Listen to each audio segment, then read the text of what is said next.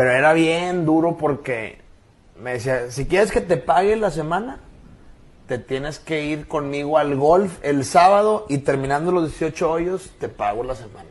Te tienes que ir conmigo al golf el sábado y terminando los 18 hoyos, te pago la semana.